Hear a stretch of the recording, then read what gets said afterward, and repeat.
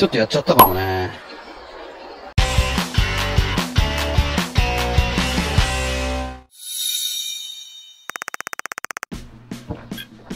はい、皆さんおはようございます。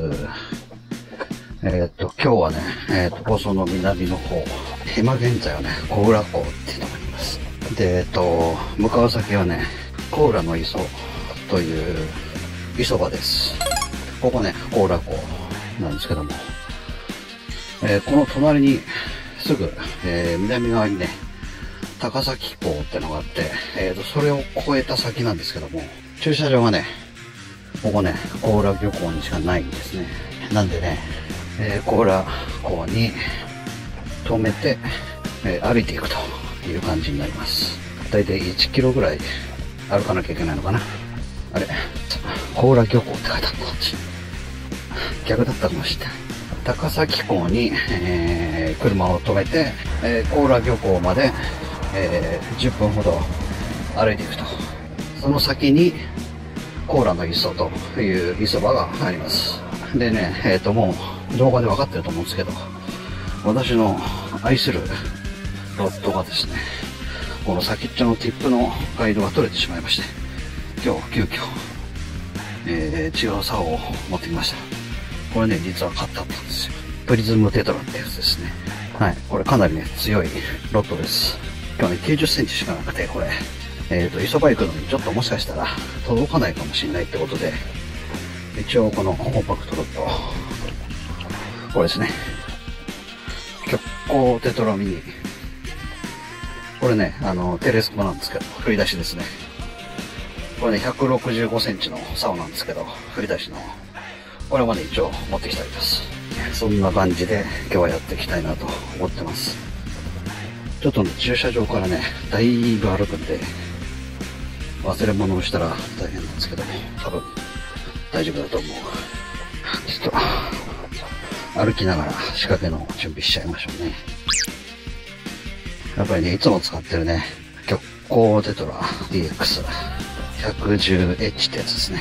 これがね、U ガイドってやつがついてて、まあ、要するに針金だけっていうガイドなんですけども、それはね、あの、コストダウンでやってるわけじゃなくて、感度を良くするために、えーそういうガイドを使ってると。落とし込みとかね、そういうのにも U ガイドが使われてて、それのね、予備というか、入れ替え用というか、なかなか売ってなくて、まあ、最終的には富士のガイドの輪の直径が1.5ミリだったかな。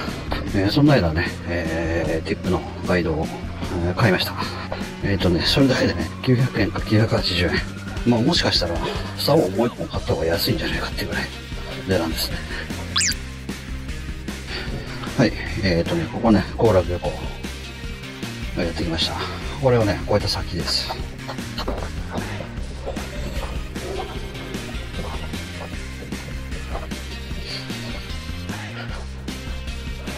ここが漁港の設備ですね。で、向こう側に、えーテトラもあります。これを越えた先ですね。漁港自体はね、釣り禁止じゃないっぽいんですよね。で、ここはね、Google マップで見つけたわけじゃなくて、えーウェブのね、記事で見つけました。えー千葉の磯をまとめたサイトですね。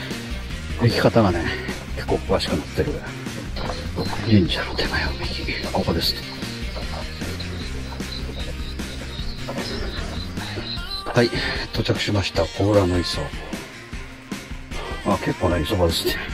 ここはね、一応ね、磯場で、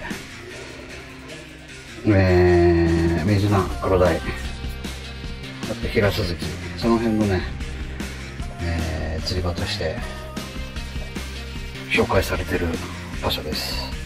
もちろん穴釣り場としては、えー紹介されておりません。ここ入っていいのがいいんだと思うんだよね。特に禁止、釣り禁止とかって書いてないのと。はい、じゃあちょっとね、この先進んでいきましょうね。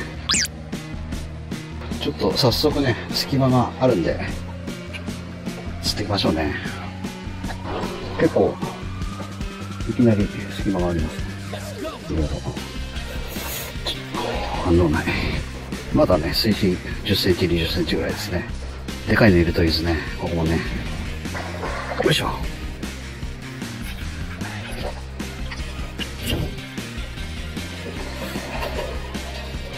うん、やっぱ砂浜なんだね。あんまり好きじゃない感じの磯場だね。砂浜だよね、ここね、まだ。今のとこ反応ないね。うわ、随分続くね、これ。楽しみだ。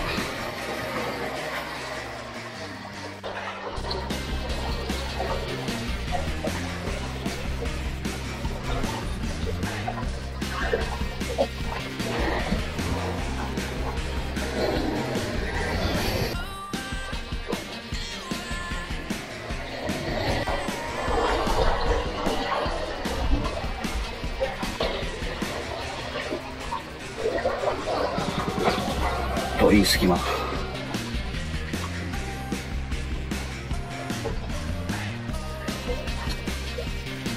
おっと当たってる。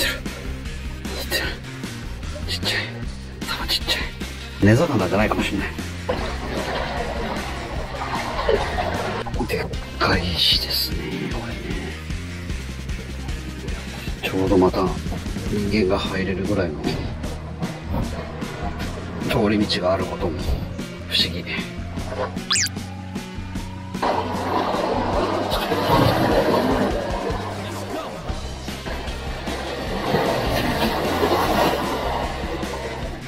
意外とねすぐ当たりがあると思ってた。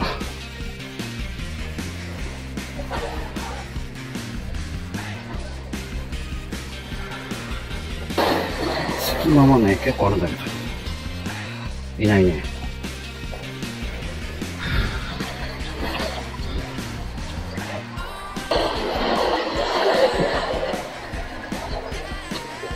全く反応ないね。困ったね。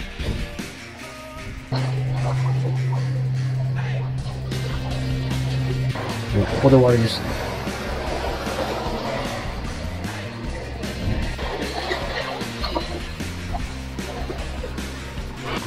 ちょっと早めに右行った方がいいかもね、これね。もうそこで終わりですよ。もうそこで終わり。まあ一応来たんで、奥までやってみましょうか。ここもね、砂浜に石が落ちてるような場所。ちょっとやっちゃったかもね。はい。えー、ということで、えー、初めて磯の情報サイトで載っていた、えー、甲羅の磯来てみたんですけども、ちょっと潮が悪いのか、えー、はたまた本当にいないのか、まあ、はたまた腕が悪いのか、まあどれかあなんですけども、本当にね、根魚感がまるでないですね。あのね、ずっとね、石はゴロゴロ落ちてるんですけど、砂浜なんですね、基本が。波が来るとね、ちょっと見えないかもしれないんだけど、あの、砂が舞ってるような場所なんですよ。こういう場所はね、あんまりね、まあ相性良くないというか、うん、まあこれだけ行って全体を通して、まあそんな感じがしてるんでね、おそらくね、もう本当にそうなんじゃないかなと思い始めました。まあ要するに砂浜ベースのコロタには居つきづらい。満潮の時に、えー来てみたいと思います。満潮だったらもうちょっと、あーこの辺でも釣りができる感じになるんで。今日はね、あの、七冊を込みと言いますか、試し釣りと言いますか、えーそんな感じでね、ここの甲羅の磯を来てみました。はい。という感じで、ここはね、一旦終わりたいと思います。えー、甲羅港のテトラ。あそこね、立ち入り禁止。釣り禁止じゃなかったらちょっと行ってみたいと思います。はい。じゃあまた後で。